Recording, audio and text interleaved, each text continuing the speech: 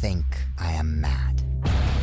But soon you shall see that every move, every strike was meant to bring us to this.